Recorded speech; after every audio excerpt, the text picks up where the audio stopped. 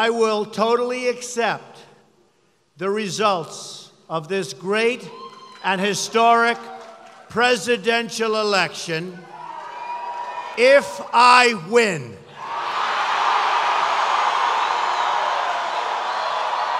I'm also honored to have the greatest temperament that anybody has. I could stand in the middle of Fifth Avenue and shoot somebody, and I wouldn't lose any voters, okay? It's like incredible.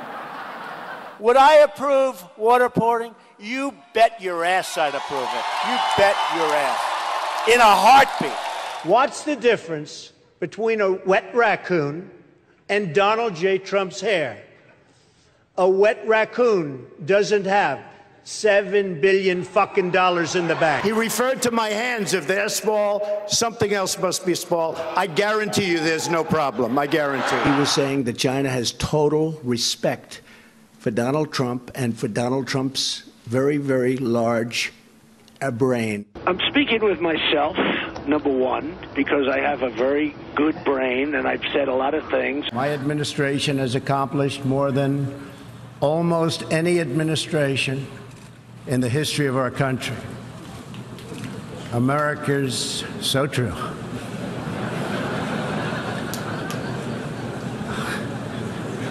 Didn't expect that reaction, but that's okay. Nobody knows the system better than me, which is why I alone can fix it. I'm actually a modest person, very modest. It's true. In fact, many people tell me that modesty is perhaps my best quality. Nobody has more respect for women than I do. Nobody. If Ivanka weren't my daughter, perhaps I'd be dating her. You know? Stop it! Oh, it's so weird. I'll admit it. I did try and fuck her. She was married. Huge news there. I moved on her like a bitch. And when you're a star, they let you do it. You can do anything. Whatever you want. Grab him by the pussy. This was locker room talk. When Mexico sends its people, they're not sending their best. They're bringing drugs, they're bringing crime, they're rapists. We're going to build the wall. We have no choice. We have no choice.